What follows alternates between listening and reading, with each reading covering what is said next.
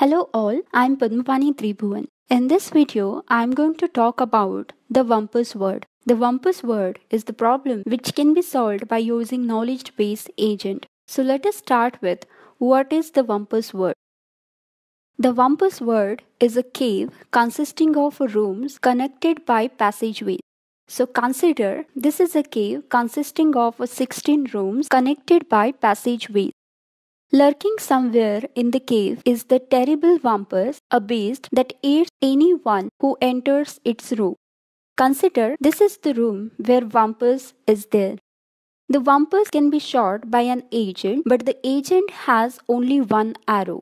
So this is the room where agent is there having single arrow and agent can shoot the Wumpus.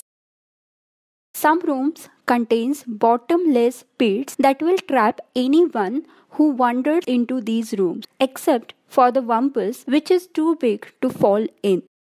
So consider there are three different rooms having pits. The only mitigating feature of this environment is the possibility of finding a heap of gold. This is the goal for which agent is searching. Now let us see PEAS description. PEAS description describes the complete problem.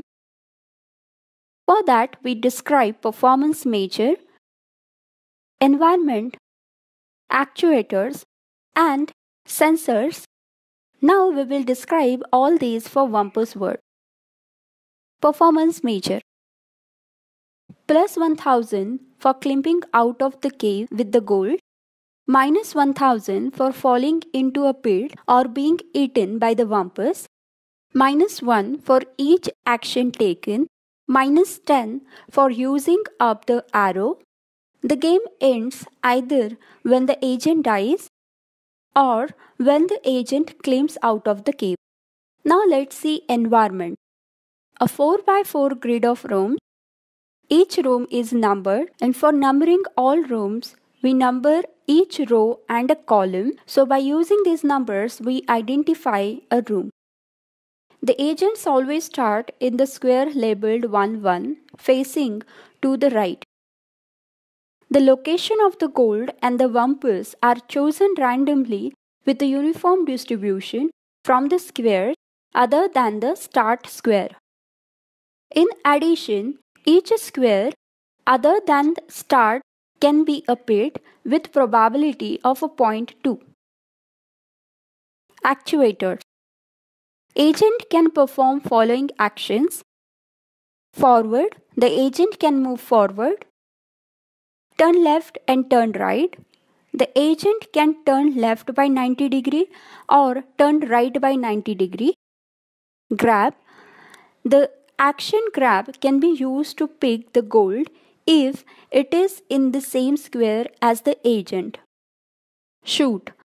The action shoot can be used to fire an arrow in a straight line in the direction the agent is facing. The arrow continues until it either hits and hence kills the Wumpus or hits a wall.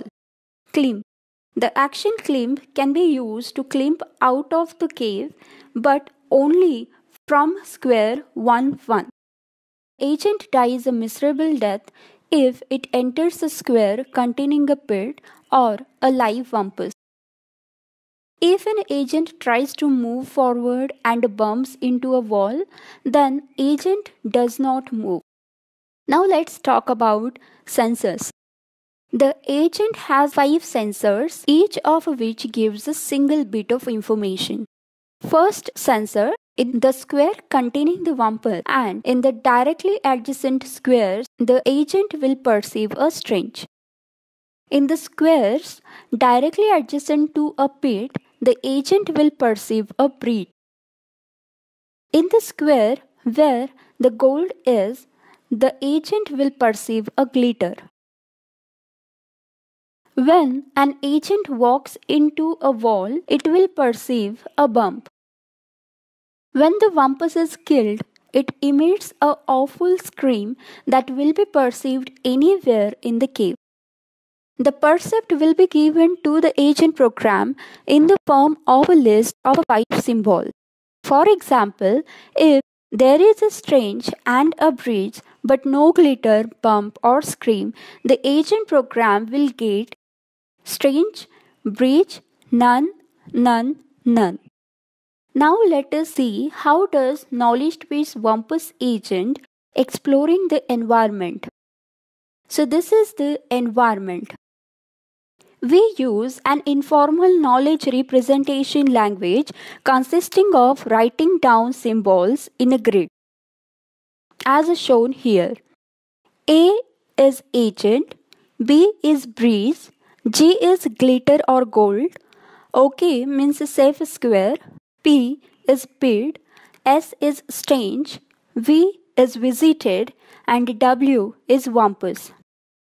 The agent's initial knowledge base contains the rules of environment as we have discussed already. In particular, it knows that it is in 1 1 and 1 1 is a safe square. We denote that with an A and OK respectively in square 1 1.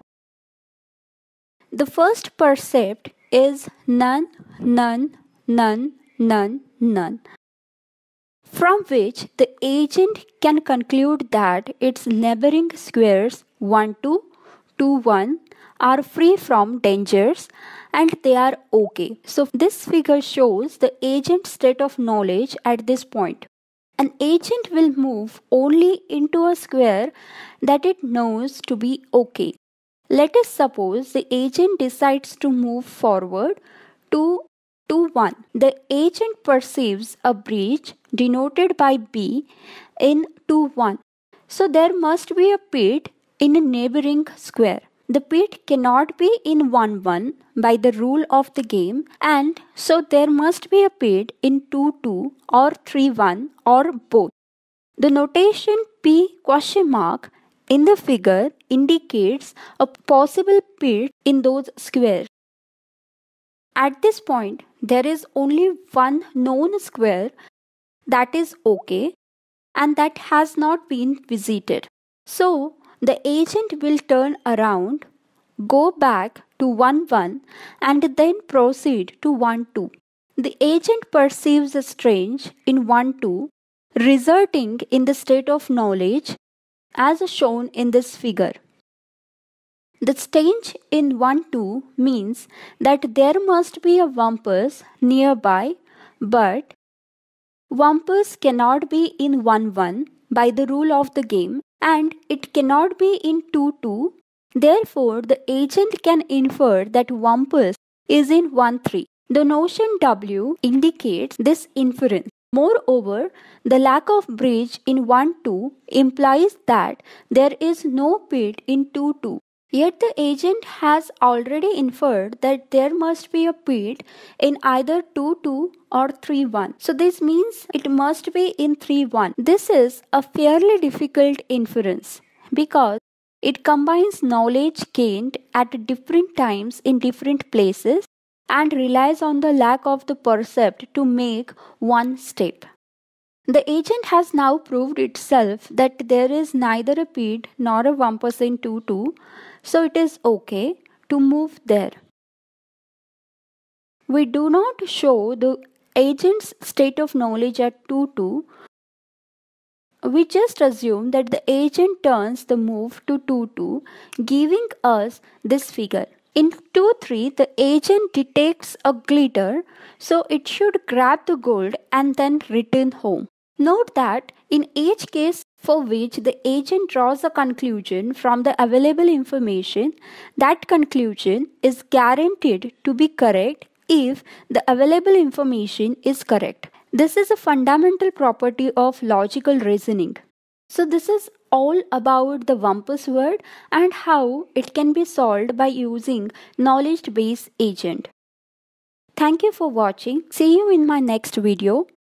Till then, being passionate learner, keep learning. Thank you.